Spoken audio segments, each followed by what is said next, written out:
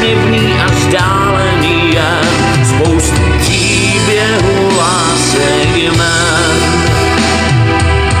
A chvíle, kdy jsem prvně vlál nocí nad dívčí nahotou a rock'n'roll rozněl. Ta doba, kdy jak slunce hřál, pocit, že všechno mohl bych mít, jen kdyby já chtěl, to už dál.